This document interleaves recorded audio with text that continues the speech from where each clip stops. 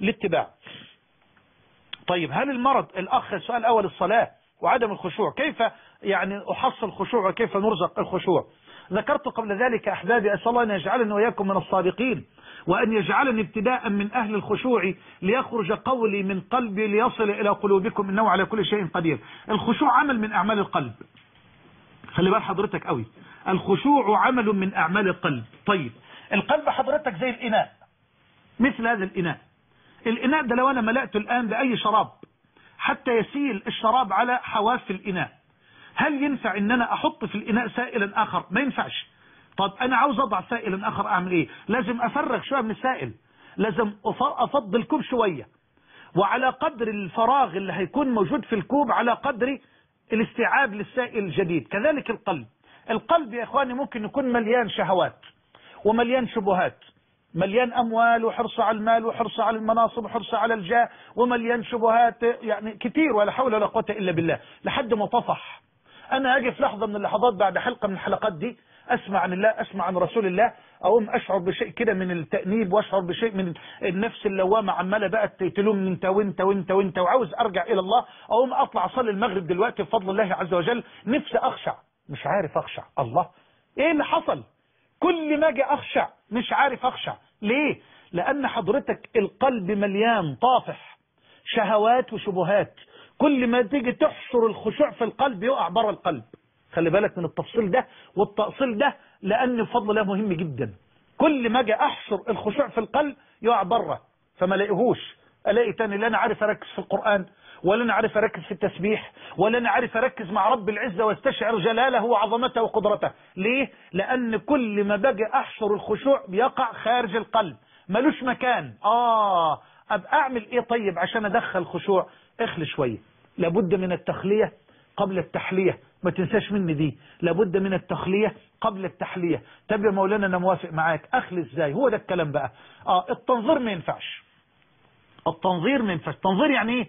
يعني الكلام النظر اللي أنا هقوله ده مش ممكن هترزق به الخشوع إلا إذا خدته كخريطة ومشيت على الخريطة عشان تنفذ وتبقى عمل. تبقى خريطة الطريق بس مش خريطة الطريق الكذابة البكاشة اللي أنتوا عارفينها لا خريطة الطريق بقى تدلك على الحق تدلك على الخشوع الحقيقي.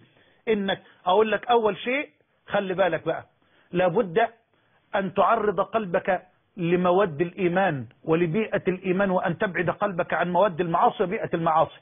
جاء الرجل الذي قتل مئة نفس إلى العالم فقال له اترك أرضك فإنها أرض سوء واذهب إلى أرض كذا فإن بها أناس يعبدون الله فاعبد الله معهم. آه يبقى لازم أغير البيئة بقى لأن أنا عمال أتنفس هوا معصية وشم هوا معصية واشرب معاصي واكل معاصي. أو أكل وشرب بقت ولا حول ولا قوة إلا بالله كل لحظة أنا في معصية. طب وبعدين أجي في لحظة كده عاوز أحشر الخشوع لا مستحيل. يبقى أخلي الأول والإخلاء بالعمل بان أنا أبتعد عن بيئة المعصية على قدر المستطاع وأعرض بس لبيئة الإيمان وأعرض نفسي لأهل الإيمان. أسمع بقى عن الله وأسمع عن رسول الله وما تستعجلش. يعني مش بعد الحلقة دي حضرتك تيجي ما تلاقيش الخشوع في صلاة المغرب تقول لا لا لا ده الكلام ده كلام كله كلام فاضي وأنا. لا انتظر واصبر لأن ده ما بيجيش بالتنظير لكن بيجي بالعمل يجي بالشغل. يبقى أول شيء إن أنا أعرض نفسي لبيئة الإيمان والمواد الإيمان لأن الإيمان بيزيد بالطاعة وبينقص بالمعصية. طب الأمر الثاني أحافظ على الصلاة في أوقاتها. بس قبل ما تروح المسجد يا ريت تروح بدري شوية. تروح ما تروحش على الصلاة. حاول تروح بدري شوية. إذا ما كنتش متبع للسنة لأن الاتباع إيه؟ الاتباع إن أنا أصلي السنة في البيت. أصلي السنة في بيتي وبعدين أذهب إلى الفريضة. طب أنا لو لو لو انتظرت في البيت بعض إخواننا يقول لك مش هصلي. طب خلاص أروح مبكرا شوية إلى المسجد وأصلي تحية المسجد ركعتين وبعدين اهيئ قلبي تهيئة أخرى أبدأ أصلي السنن. كل ده تهيئة للقلب. لحد ما يأتي المؤذن ويقيم الصلاة ويدخل على الفريضة يبقى القلب هيئ ياخد الفريق القومي بيكون عنده ماتش كبير بيعمل معسكر. بيعمل معسكر مش كده ولا إيه؟ ما أنتوا حرفة كورة يعني. والمشايخ مش دراويش يعني عارفين كل حاجة إن شاء الله. فبيعمل الفريق القومي معسكر إيه المعسكر ده؟ المعسكر ده الهدف منه شحن معنوي. شحن معنوي ابتداء. يشحنوا شحن معنوي يعمل له معسكر يبعدوا عن كل حاجة. يشحنوا شحن معنويا عشان الفوز. وبعد كده تأتي التمرينات بقى يبقى شحن مادي. فأنا بقول لك اقف في الصلاة صلاة النوافل اشحن قلبك شحنا إيمانيا ليصبح القلب مهيئا للقيام بين يدي الرب في صلاة الفريضة. طيب ثلاثة حافظ على الذكر. الذكر يحيي القلب. وانت في عربيتك وانت في البيت زوجتك بتجهز الطعام. ما تعملش مشكلة. ما تعملش مشكلة. روحت البيت لسه ما خلصتش ولا حاجة. انت عاملها قضية ليه؟ ما تقعد انت والله العظيم لو انت فاهمها صح وحاسبها صح والله تفرح. نص ساعة كمان. كويس أو قاعد في البيت بقى. انشغل بالذكر. شغل بذكر الله شغل بالتسبيح ومصلي ركعتين. وظف الوقت توظيفا ايمانيا. يبقى الذكر يحيي القلب. الأمر الرابع خليك في صحبة تذكرك بالله. وابعد عن الصحبة اللي بتأزك أزا على المعصية. لا تصاحب إلا مؤمنا ويأكل طعامك إلا تقي. شايف علاج؟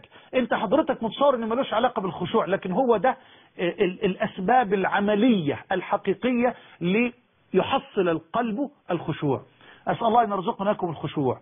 فاجتهد شوية واشتغل شوية وبإذن الله تحس بالمتعة وهتحس باللذة وهتحس بالقرب وهتحس بأن أسعد لحظات حياتك وأنت مع ربك. هتحس بالأنس الحقيقي وأنت مع الله عز وجل. اعلم أنه لا يتذوق حلاوة الأنس بالله إلا من خرج من سجن الهوى إلى ساحة الهدى ومن ضيق الجهل بالله إلى فضاء العلم بالله ومن نجاسة النفس إلى طهارة القدس. أسأل الله أن يطهرني وإياك. إنه ولي ذلك.